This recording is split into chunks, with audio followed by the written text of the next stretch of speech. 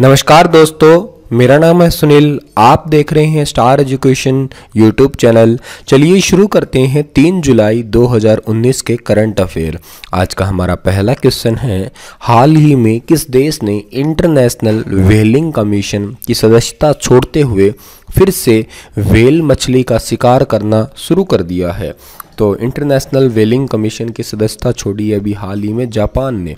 C option जो है इस क्वेश्चन का, वो बिल्कुल ठीक है। और इसके बाद जुलाई 2019 से फिर से मछली का शिकार करना शुरू कर दिया।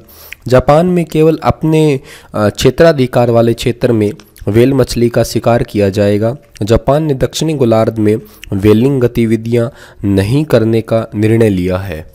और बात करें हम जापान की तो जापान की राजधानी है टोक्यो। अच्छा जब भी टोक्यो का ज़िक्र आता है तो याद रखिएगा 2020 के ओलंपिक। 2020 के ओलंपिक जो है, वो जापान की राजधानी टोक्यो में होने वाले हैं। जापान की करेंसी का नाम है येन। जापान के जो प्रधानमंत्री है, उनका नाम है सिंजो आबे। और जापान जो है, उसकी संसद का नाम भी याद रखना है आपको, डाइट। ठीक है? अगला क्वेश्चन है हमारा, भारत ने Sturm Ataka anti tank missile की खरीद के लिए किस देश के साथ 200 करोड़ रुपए के सौदे पर हस्ताक्षर किए हैं? तो ये अभी हाल ही में रूस के साथ हस्ताक्षर किए हैं, भारत ने।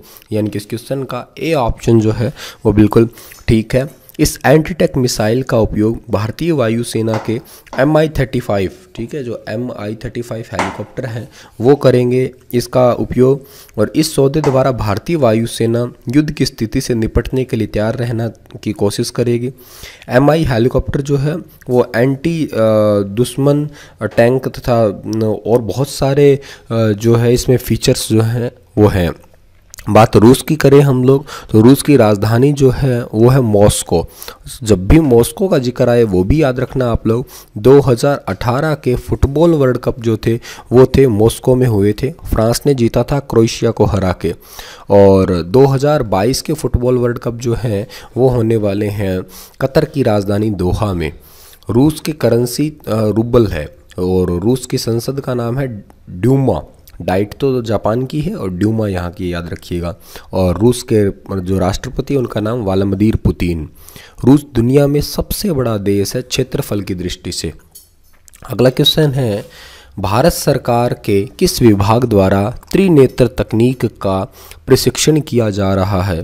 त्रिनेत्र तकनीक का प्रशिक्षण किया जा रहा है भारतीय रेलवे विभाग द्वारा। सी ऑप्शन सही है इस क्वेश्चन का। और त्रिनेत्र टेक्नोलॉजी का पूरा नाम है training imaging for driver infrared enhanced optical radar ठीक है, मैं दोबारा बता रहा हूँ। Training imaging for drivers infrared enhanced optical radar assisted और इसमें इंफ्रारेड कैमरा ऑप्टिकल कैमरा तथा रडार समर्थित इमेजिंग प्रणाली का उपयोग किया जा रहा है। इस तकनीक के माध्यम से चालक को धुंध में भी रेल मार्ग में आ, कोई बाधा नहीं आएगी और इस तकनीक का प्रयोग हो जाने से जो ट्रेनें लेट होती है उसमें भी बहुत ज़्यादा कंट्रोल आएगा टाइम पे ही ट्रेन पहुँचा करेगी ऐसा भारतीय रेलवे विभाग का कहना है। भारत में सबसे पहले रेल मंत्री थे उनका नाम याद रखिएगा आप लोग आसिफ अली। स्वतंत्र भारत के सबसे पहले रेल मंत्री थे जॉन मथाई। वर्तमान में भारत में पहले जो रेल मंत्री है वर्तमान में, उनका नाम है पीयूष गोयल। और भारत में सबसे तेज़ ट्रेन कौन सी है? कहाँ से कहाँ तक चलती है? उसका नाम क्या है? वो ट्रेन बनी कहाँ है? ये बात मुझे कमेंट में लिख के बताइए, जो कि बहुत इंपॉर्टेंट है। ठीक है, चलो मैं उस ट्रेन का नाम आपको बता देता हूँ, उसकी पूरी डिटेल मुझे आप बताइएगा। ट्रेन का नाम है वंदे भारत एक्सप्रेस। उसका पहले नाम ट्रेन 18 था, लेकिन बदल दिया। अब आप मुझे बताइए, वो चलती कहाँ से, कहाँ तक है, बनी कहाँ से है, और उसकी क्या खास बातें हैं? अगला क्वेश्चन है, हमारा निम्नलिखित में से किससे पत्रकारिता के विभिन्न क्षेत्रों में उत्कृष्ट योगदान दिए जाने वाले सर्वोच्च पुरस्कार स्वदेश स्वाभिनी केसरिया मीडिया अवार्ड से नवाजा गया है? तो ये नवाजा गया है टी जे एस जॉर्ज को। डी ऑप्शन जो है इस क्वेश्चन का, वो बिल्कुल ठीक है। अभी जाने माने पत्रकार एवं cartoonist T G S George को केरल में पत्रकारिता के विभिन्न क्षेत्रों में उत्कृष्ट योगदान के लिए केसरी मीडिया अवार्ड से नवाजा गया है और केरल के मुख्यमंत्री पिनराई विजयन के समारोह में श्री जॉर्ज ने यह पुरस्कार उनको दिया गया था। बात केरल की हो रही है तो केरल की राजधानी है त्रिवंतपुरम केरल के मुख्यमंत्री पिनराई विजयन, केरल के राज्यपाल है पी सत्यशिवम सरकार ने अपने व्यय और राजस्व को संतुलित करने हेतु किस वर्ष में खत्म किए गए संपदा शुल्क को दोबारा अस्तित्व में ला सकती है? ये ला सकती है 1985 वाले को, यानी कि इस क्वेश्चन का ए ऑप्शन जो है हमारा, वो बिल्कुल ठीक है। भारत में संपदा शुल्क वर्ष उन्नीस सौ तिरपन में लागू किया गया था। जब किसी संपत्ति के मालिक की मृत्यु हो जाती थी, वह संपत्ति उसके किसी उत्तराधिकारी को हस्तांतरित हो जाती थी। तब संपदा शुल्क लगाया जाता था। इस शुल्क को हटाने का मुख्य कारण यह था कि इससे प्राप्त होने वाला राजस्व इस, इसके प्रशासन पर किए जाने वाले खर्च से बहुत कम था, जिसके कारण सरकार को इससे कोई भी लाभ नहीं मिल रहा था। काफ़ी इंपॉर्टेंट क्वेश्चन है। प्लीज़ आप याद कर लीजिएगा इस क्वेश्चन को। अगला क्वेश्चन है, असम सरकार की तर्ज पर किस राज्य सरकार ने भी राष्ट्रीय नागरिक रजिस्टर तैयार करने तैयार करने का निर्णय लिया है? तो ये तैयार करने का निर्णय लिया है नागालैंड सरकार ने। सी ऑप्शन है इस क्वेश्चन का। नागालैंड के गृह आयुक्त ने स्थानीय निवासियों की पहचान के लिए नागालैंड में स्थायी नागरिकों का रजिस्टर तैयार करने के लिए एक अधिसूचना जो है वो जारी कर दी है। इस सर्वेक्षण में ग्रामीण एवं वार्ड स्तर पर स्थानीय लोगों का रिकॉर्ड की सूची जो है वो तैयार की जाएगी। हाल ही में केंद्रीय स्वास्थ्य और परिवार कल्याण मंत्रालय ने जापानी इंसफेलोसाइटिस के मामले को ध्यान में रखते हुए किस राज्य में इसकी स्थिति की समीक्षा के लिए एक केंद्रीय दल भेजा है? तो असम में असम राज्य में केंद्रीय दल भेजा गया है। ए ऑप्शन सही है इस क्वेश्चन का।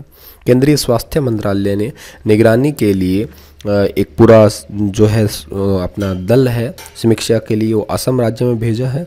और मंत्रालय ने जो ये ये वैक्टर जनित रोग है, इसके नियंत्रण के लिए, ये बेसिकली एक वैक्टर जनित रोग है, याद रखिएगा वाहक है, किसी मक्खी, मच्छर द्वारा फैल सकता है, इसी वजह से उसको कंट्रोल करने के लिए, नियंत्रित करने के लिए एक दल भेजा गया है। बात असम की हो रही है तो असम की राजधानी है दिसपुर।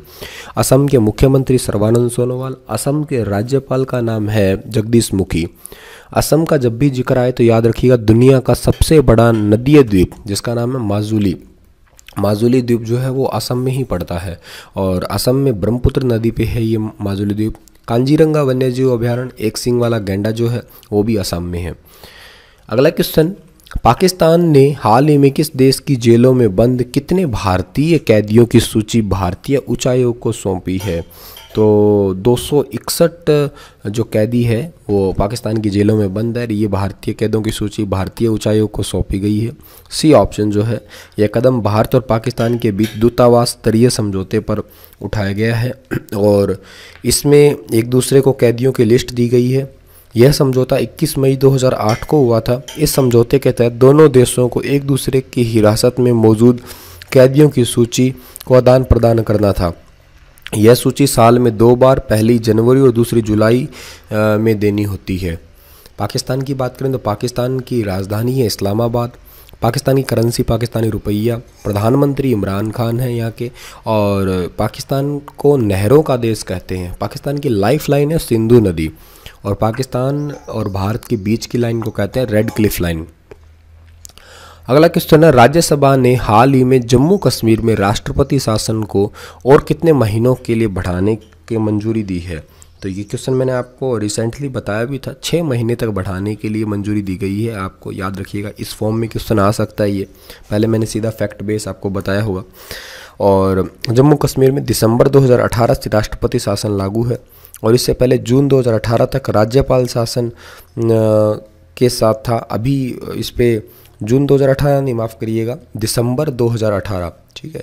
दिसंबर 2018 तक राज्यपाल शासन था। ठीक है 19 दिसंबर 2018 तक राज्यपाल शासन था। उसके बाद 20 दिसंबर 2018 से यहाँ पे राष्ट्रपति शासन चालू है। जम्मू कश्मीर राज्य का ज़िक्र आए तो याद रखिएगा, भारत में केसर सबसे ज़्यादा जम्मू कश्मीर में होती है और एक हिरण की प्रजाति होती है हंगुल। हंगुल हिरण की प्रजाति दाचीगम नेशनल पार्क जम्मू कश्मीर में रखी जाती है। किस राज्य सरकार ने महिलाओं के रात्रि शिफ्ट में कार्य करने हेतु 1948 के फैक्ट्री अधिनियम के संशोधन को मंजूरी दी है। गोवा सरकार ने बी ऑप्शन सही है इसका। अब महिलाएँ गोवा में रात्रि शिफ्ट शाम के सात बजे से सुबह छः बजे तक उद्योग में काम कर सकती है। यह महिला सशक्तिकरण की दिशा में गोवा सरकार का एक महत्वपूर्ण कदम है और यह प्रशासन के केंद्रीय श्रम एवं रोज़गार मंत्रालय द्वारा फैक्ट्री परामर्श सेवा, श्रम संस्थान महानिदेशक द्वारा जारी किया गया है। गोवा की बात करें तो गोवा भारत में सबसे छोटा राज्य है। गोवा का गोवा की राजधानी जो है वो पणजी है। गोवा के मुख्यमंत्री है प्रमोद कुमार सावंत, ये याद रखिएगा आप लोग। अगला क्वेश्चन है, भारत ने रूस के साथ 200 करोड़, ये अभी मैंने आपको बताया था, ये India's new defence deal with Russia, ठीक है, अभी मैंने 200 करोड़ रुपए का स्ट्रम आटंका एंटी मिसाइल जो आपको मैंने बताई है एम आई फाइव, ये वो वाली ही है। अगला क्वेश्चन है, तमिलनाडु ने तमिल योमन या तमिल मारवन को अपनी राज्य तितली घोषित की है। ये वो तितली है जिसको तमिलनाडु ने राज्य तितली घोषित की है। तमिलनाडु के ये भी प्रतीक है, पशु है नीलगिरी तहर, पक्षी है एम्ब्रॉयड कबूतर, वृक्ष है, ताड़ का पेड़, फूल है, गौरियोसा, फल है, कटहल। ये क्वेश्चन एग्ज़ाम में आते हैं, ठीक है? तो आप अच्छे से याद करिएगा इन्हें। और इतने ही थे आज के हमारे करंट अफेयर दोस्तों, कैसा लगा आपको वीडियो वीडियो पसंद आया तो अपने दोस्तों तक शेयर करना बिल्कुल मत भूलिएगा। बहुत जल्द मिलते हैं नेक्स्ट वीडियो में। तब तक के लिए आप हँसते रहिए, मुस्कुराते रहिए।